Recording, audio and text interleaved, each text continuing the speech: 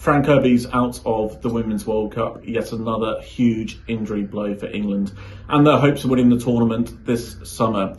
Now, Kirby injured her knee in Chelsea's 7 0 win over West Ham back in January.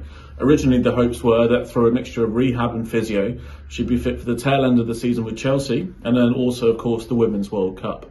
But today, Tuesday, it was announced by Chelsea that she requires surgery. Fran later posted a statement on her Instagram and Twitter account saying how devastated she was that this that it came to this. When ultimately she originally hoped to be fit, she also said that she will miss the World Cup as a result of this injury, but hopes to be fit again for the start of next season. Without Kirby, England have already looked to Ella Toone. She played a key role in the Euros, but now she's a starter in that team and that sort of 10 role.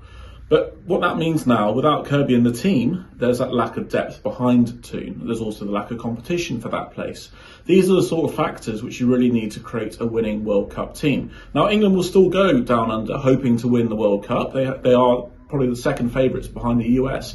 But this is yet another crushing injury blow for England. They're already without Leah Williamson. They're already without Beth Mead. Two key players key parts of their spine, which won the Euros last summer.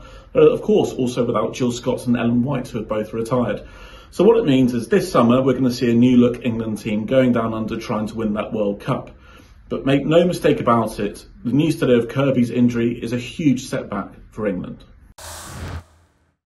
Thanks so much for watching ESPN on YouTube. And for more sports highlights and analysis, be sure to download the ESPN app. And for premium content and live streaming, subscribe to ESPN Plus.